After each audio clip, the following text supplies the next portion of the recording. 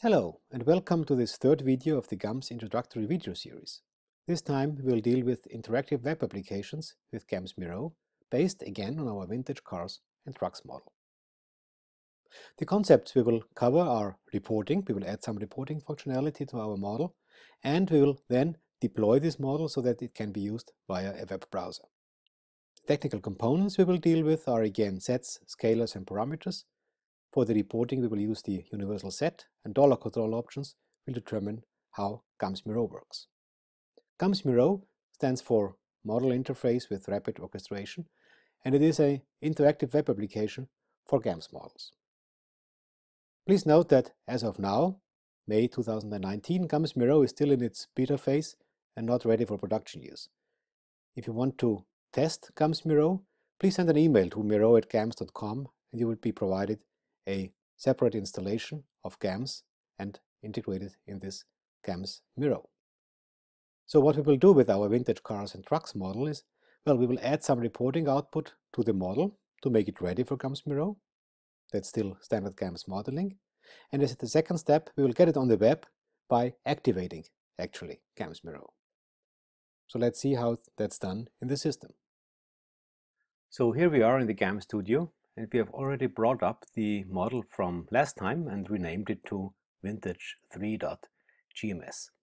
The first step is, uh, well, we will add some well-defined input and output quantities and just tweak the code a little bit to reflect this. The first thing is, well, in this scalar section, we set scalars for the maximum spending budget and the maximum number of vehicle spaces in the barn and we would like to add the number of large spaces to that. The number of large spaces is used down here in line 32, where we set an upper bound to the variable x of trucks to be equal to 2. Just go ahead and add a scalar for this 2 here by just adding one line to the scalar declaration and just call the scalar large and large will mean the number of large spaces in the barn and we will assign a default value of 2 to these large spaces. And wherever in the code we use this number of 2 as the upper limit for the number of trucks, which is here in this line here, we will just replace this 2 by the scalar large. And this we will use later on for the Miro application. We have three scalars we would like to set via the, the web interface. So that's quite straightforward. The second modification will be about reporting. Just scroll down all the way as a minimalistic report. We will just display the string solution values and then display the number of cars and trucks, the level value of the variable x, and the level value of the variable z, which is the uh, yeah the total revenue. So we'll do away with these two display lines and replace them by something a little bit more sophisticated. And for the uh, yeah for the report we will define a parameter. Say parameter. We call the parameter report. And the set that is spanning this parameter is now not a specific predefined set, but we use the, the asterisk. The asterisk means that the so-called universal set is spanning report. And the universal set is comprised of all sets that are in the system already. In our case, that's uh, just the set V for vehicle types, cars and trucks, plus any set elements we subsequently define. So let's go ahead and finish up this parameter declaration and we will see how we define this report parameter in a second. Just call it scenario report. And don't assign anything in the declaration, we just end the declaration statement here. And in the subsequent lines, we will fill this report with values. So what we would like to display? Well, first of all, the number of cars and trucks, right? So we say report of V, that means any element of the set V will get some value assigned in the report. Let's just set this equal to the level values of our variable x, the number of and trucks. That's quite straightforward. And now we would like to add some some more some more data to this. So we say report of, and now that's a new set element we just define in in the assignment statement itself. Let's say available budget just to redisplay this in the in the report, and we set this equal to to budget. It was the scalar declared and defined up here to have everything in one place. And in the same way, we add some more lines. Report of spent budget. That's exactly whatever we we uh, we spend to buy wreck cars or trucks. And what's this value? Well, this value is whatever money we spend. And if you look closely at the equation definitions, we do have the equation budget, which stays stay, stay within budget. And here in the definition of the equation, we say, well, whatever we spend, meaning the number of vehicles times the cost of the vehicle type, summed up of all vehicle types, has to be less than, than or equal to budget. And we know already that GAMS reorders the individual terms in the equations in such a way that all the variables are to the left and all the constants to the right. And also the level value of an equation has the meaning of whatever is on the left side of the equation at the optimal value. If the solve statement is successful. So we just set the spend budget equal to the level value of the equation. Equation budget dot L. And what is that? Well, that's just the sum of all vehicle types times costs of the vehicle types. Well, that this is exactly the budget we spent. So that's this one. Then we would also like to include the total revenue in the report. So we say report total revenue and set this to whatever the total revenue is at optimum and this is just the value of the variable capturing the, the objective function z dot l. And finally, we would also like to calculate the profit we actually make. So we say report of profit, another new set element, and set this equal to the profit. What is the profit? Well, the profit is whatever revenue we make, z dot l, less whatever we spend. That's just the level value of the budget equation. Like, like so. Just to make it look prettier, we align this nicely. And that's our, our report parameter. And at the last statement, we say display report in order to have the report printed in the LST file. So let's go ahead and, and run this model and see what the output is. Hit run button and we see again the log file and the list file. Scroll all the way down to the display statement and we have here the parameter report that's displayed we see that well we have one one car two trucks if we scroll to the right we have 3.6 kilo dollars available budget that the spent budget was 3.4 kilo dollars total revenue was 7000 and the profit accordingly the difference of these two 3.6 kilo dollars. Also note if we don't specify anything specific for the for the display format we will have this sort of like long line displaying the elements of the display statement. We can correct this or change this by using one of the many uses of the of the option statement just before the display command or anywhere before the display command. We say option and in this context we use the option statement to, to determine what format to display the report in and we say option report colon two decimal places colon 0, colon 1. And what this statement does, and you are invited to check the many uses of the option statement in the GAMS documentation, um, what this statement does is whenever the symbol or the object report is displayed, we'll use two places after the decimal, and this 0 here determines that the report is like displayed in a list format, meaning one entry below the other. So let's see what it does we execute this and scroll again all the way down in the list file, we see like a nicely or more nicely formatted way of displaying the report. Number of cars, number of trucks, available budget, spent budget, total revenue, and the profit. So that's it about determining where's the input to the model. This will be the scalars, and where's the output. These are these uh, the, the entries of the report parameter. So let's see how we configure Miro in order to respect the input and output values. And the way we do this is quite straightforward and very easy. We use the so-called dollar control options. Dollar control options start with a dollar in the first column and they determine how the compiler and the GAMS system behave. And in this particular context, we use the Miro specific options on and off external input and on and off external output. So the input are the scalars. So we specify on external input before the scalar declaration and definition and accordingly off external input after declaring the scalars that shall serve as a input or external input to the Miro model. And in the same way we define what the output quantities are. As I said before, do want to display the parameter values of our report in the Miro interface.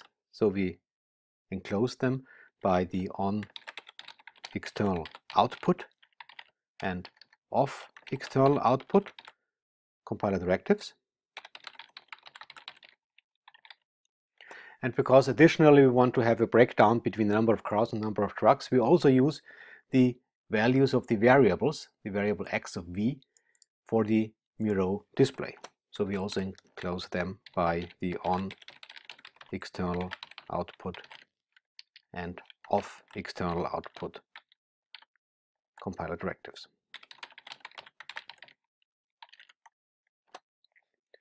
And that's pretty much it, what we have to define for a bare bone, very simple Miro model. Invoking Miro is done via the command line, the command line option.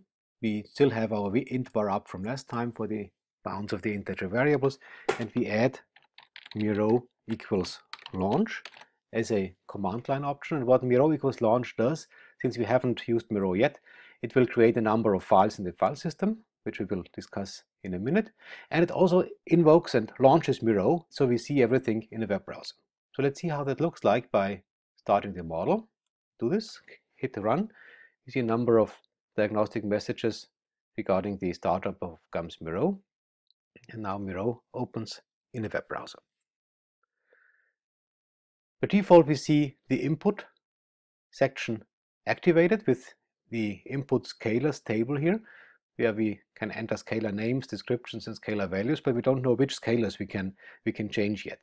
And for that, we can use the load data functionality that loads data that is defined in the GAMS model and saved by Miro in an Excel spreadsheet to populate this table. So let's have a quick look and switch to the file system to see what Miro has done. This here is our directory with the vintage 3.gms GAMS model. We see here a preview of it. We also see the LST file that's being created by the GAMS run and also the log file. And we additionally see a number of directories like the configuration and logs directory, a R file, some other files created by GAMS Miro. Especially, please note that there is a Excel spreadsheet, vintage 3.xlsx, that's been created and that takes the default values of the external input values. In our case, these are the scalars. Also note that Microsoft Excel does not need to be installed on your system. Miro does it via a separate subroutine to create this spreadsheet. So let's have a quick look what's in this spreadsheet by opening it. Double click on it. That's the content of vintage 3.xlsx. Let me make this a little bit larger what we notice is that it does have our three scalars, budget, spaces, and large, with whatever values have been defined in the GAMS model. Also note that my system is set such that the comma is used as a decimal separator instead of the point, which doesn't matter because it's the intrinsic Excel number format. So now we can load this data into Miro. Let's close the spreadsheet. Say don't save. Just use it as it is, switch back to the web browser and click on the load data button here. And the load data button allows us to navigate to our spreadsheet and load the data from there. And browse for the file. Select the vintage3.xlsx and open it.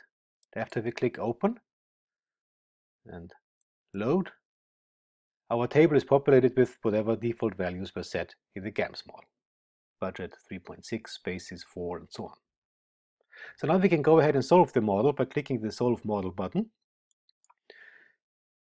Here's a log file and the listing file. After everything is done, we are put into the Output tab, and the Output tab does have our cars and trucks. This is the number of vehicles, that was the long text associated to our X variable. And there's a second tab, Scenario Report. If you click on that one, we see in a tabular fashion whatever numbers come up in the report. And you will recognize the numbers that are the same as in the list file display we looked at before. So how can we now make it a little bit more user-friendly in terms of having input values that are selected by sliders, for instance, output values that still shows the table and the number of vehicles as a pie chart, for instance, that displays the fraction of cars and trucks we use in our optimal solution. In order to do that, we again switch back briefly into the file system and look at the conf directory. The conf directory created by GAMS Miro has two files, two JSON files that contain data definitions, the model name underscore IO JSON with number of code lines, and the yet empty vintage 3 name of the model.json file, which is still empty. And this particular file determines the way the input and output is organized, and we can either go into a file editor, look at the GAMS Miro documentation and uh, write the code, or we can also use the configuration generator provided by GAMS. And that's the way we will do. So we go to a new tab in the, in the browser and enter gams.com forward slash Miro. So we get to the Miro page and scrolling down, we will notice that there is a link to the configuration generator, which we activate. Get some information about the configuration files, configuration file format, also a couple of uh, examples. And at the bottom of the page, there's the configuration generator that, that allows us to upload our model name underscore IO JSON file. We'll go ahead and do this select our model name underscore io.json file, vintage3 underscore io, open it up, and we are put into the configuration generator that has several parts to it or several uh, workflow items, general settings, input widgets, graphs for the output and tables for the output. We will just leave most of the settings at the default values because that would be too much for the for this particular vid uh, video and jump right into the input widgets and define input widgets for our three scalars, budget, spaces, and large. So we choose here generate new widget for model input data, add a new item. And yeah, let's start with the budget. Budget shall be displayed as a slider. You have the choice between different input functionalities here. Just call it budget, descriptive text, enter spending budget in thousands of dollars. And here we set the limits of the slider. So minimum value let's say we have a zero minimum value maximum of like 10,000 default starting value whatever we had in the model let's say 3.6 and the interval between selectable values let's say we want to select it in $100 increments, so $0.1 thousand. And that's it for the first slider. You want to add some more sliders. Have to scroll up here again and click on this little plus icon. And you'll see after the budget slider, we see the next one, which is still empty here, and we select, let's say, spaces. And for the spaces, I'd like to display the text enter the number of spaces in the barn and again minimum value let's say 0 up to 8 spaces, let's say. We had 4 spaces as the default starting value, which can be changed at any time, and it's an integer number, so the interval will be 1. And accordingly, we need to add one more slider. Need to scroll up again, click the plus icon, scroll down, and large was the third scalar, call it large. Descriptive text for slider will be enter number of large spaces for trucks and cars, for instance. And what do we enter as limits? We don't make it dependent on the number of total spaces, which would make more sense, but would be beyond the scope of this video. And we say, well, between 0 and 8 large spaces shall be configurable for our specific uh, model. Default value was 2 and also needs to be of integer value. So now we created three sliders for three scalar input variables. And we can click on next and that puts us into the next section of the configuration generator for the into the graph section. In the graph section we will add a graph for the well the breakdown between cars and trucks. Clicked on plus here under the under the graph. I'd like to display values of the variable x. Title of the graphics, let's say we call it vehicle type breakdown and we would like to have a split view between the data table and the graph in one window. And for the pie chart, we use Plotly for rendering the graph. Use pie chart. As symbol labels, we have the vehicle types, so the entries of the set V. The symbol values shall be the level value of the variable, because we're interested in the number of cars and trucks in the optimal solution. And just leave the rest at their default values. And clicking next takes us to the next section of the configuration generator, which is the tables view. We just leave everything at, at its default. Scroll down again and finally click on download JSON. That downloads the JSON file to our system. I did this, dialog comes up, I say save file. And this file is now in my download folder. I still need to move it into my file system. We switch back to the folder with the GAMS files. We see the vintage3.json is still empty. And I'll go ahead and drag it from the download folder into the configuration folder, say replace, and I see it's populated with JSON code. Okay, so what's the effect of this now? Let's switch back to the GAMS Studio and execute the same model again. Actually, I cannot execute it. Why not? Well, because it's still active in the browser. So we need to switch back to the browser. Close the tab. Say leave page. This will change in the production version of GAMS Miro. Switch back to GAMS Studio. Now I see that my run icon is activated. I click on run, Miro starts again and puts me into the data input screen. And now we see that in the data input screen we don't have the empty table anymore. We do have our three sliders with default values. Spending budget in thousands of dollars, 3.6, number of spaces in barn 4 and so on. So we don't need to load the data because it's like pre-configured anyway and I can use the sliders to, in a convenient way, change the, the numbers here. Let's still leave them at their default values. Click on Solve Model, which will briefly display the list file and the log file. Put me into the output section and voila, the output section has the number of vehicles now displayed as a table with the different attributes of the variable and additionally as a pie chart, two trucks and one car, the percentage breakdown, and in a separate tab we do have the, our scenario report again as before.